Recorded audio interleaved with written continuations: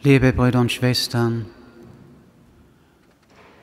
ja, es ist schon sprichwörtlich geworden, der barmherzige Samariter, sagen wir, gibt auch diese Organisation, die sich so nennt, nach diesem barmherzigen Samariter aus dem Evangelium. Es ist ja schon erstaunlich, wie dieser sogenannte Samariter, der ja in den Augen der gläubigen Juden ein Abtrünniger ist, ein nicht rechtgläubiger handelt. Ja, es bestand eigentlich eine Feindschaft zwischen Juden und Samaritern. Die Samariter galten als kultisch, unreines Mischvolk. Sie hatten ihren eigenen Tempel, ihren eigenen Gottesdienst, sie hatten eigene Riten, sie kamen nicht nach Jerusalem, um dort im Tempel zu opfern. Ja, sie waren nicht gesetzestreu in den Augen der Juden, in den Augen der Schriftgelehrten und Pharisäer. Aber dennoch, wenn man die Handlungsweise mit dem Samariter, der ja eigentlich nicht rechtgläubig war, vergleicht, ja mit der Reaktionsweise der Priester, dieses Priesters und des Leviten aus dem Evangelium, dann ist man schon überrascht. Und Jesus, er gebraucht bewusst ja dieses Gleichnis. Er beschreibt bewusst diese Personen nimmt sie als Beispiel. Ja, wer ist mein Nächster? fragt der Schriftgelehrte. Ja, die Samariter waren in den Augen der Schriftgelehrten der gläubigen Juden nicht die Nächsten. Sie hatten da eine ganz enge Sichtweise, so denke ich.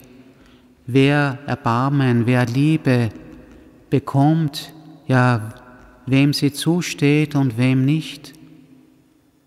Sie machten da sehr scharfe Unterschiede zwischen den eigenen Gläubigen, zwischen dem eigenen Volk und den anderen, den, den Andersgläubigen.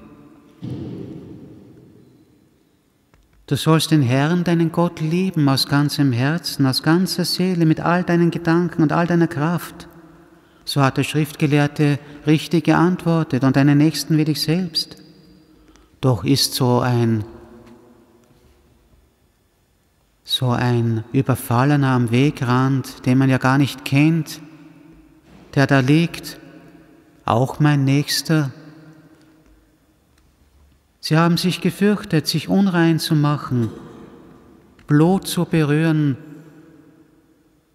der da überfallen worden ist niedergeschlagen worden ist. Sicher hat er viele Wunden gehabt, geblutet. Und der Priester geht vorüber, auch der Levit, der Tempeldiener.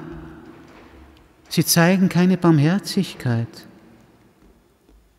Und ausgerechnet dieser Samariter, der wird berührt, er öffnet sein Herz und geht zu diesem Überfallenen hin der da niedergeschlagen daliegt, vielleicht schon nahe daran ist zu sterben. Er hat Erbarmen und er erfüllt dieses Gebot, ja der Gottes und Nächstenliebe.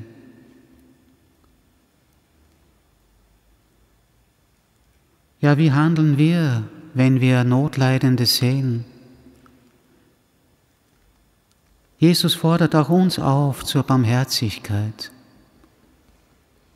So wie er mit allen Sündern, mit uns allen Erbarmen hat, wie der Vater im Himmel uns Barmherzigkeit erweist in seinem Sohn Jesus, sollen auch wir einander Barmherzigkeit erweisen, ja uns erweisen als lebendige Glieder seines Leibes, wie es in der Lesung heißt, Jesus ist das Haupt dieses mystischen, dieses geistlichen Leibes der Kirche, aller Getauften.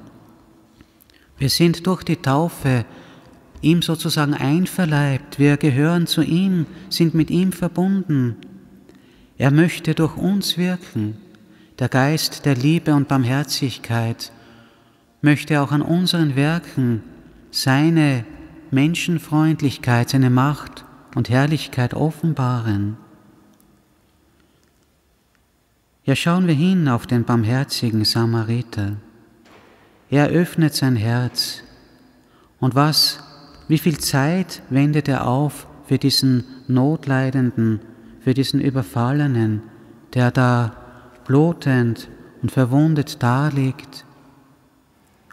Sogar sein eigenes Reittier stellt er zur Verfügung, er bringt ihn in die Herberge, pflegt, sorgt für ihn, verbindet seine Wunden und gibt dem Wirt noch Geld, damit er ihn, für ihn sorgt, ihn, für ihn pflegt. Ja, in diesem Samariter wird ja irgendwie Gott selbst sichtbar, spürbar. So handelt Gott an uns. Wir sind sozusagen diese Überfallenen, wir sind von den Sünden, von der Sünde verwundet. Wir liegen da am Wegrand. Wir sind die, die Hilfe brauchen. Und Jesus selber schenkt uns sein Erbarmen. Er hebt uns auf.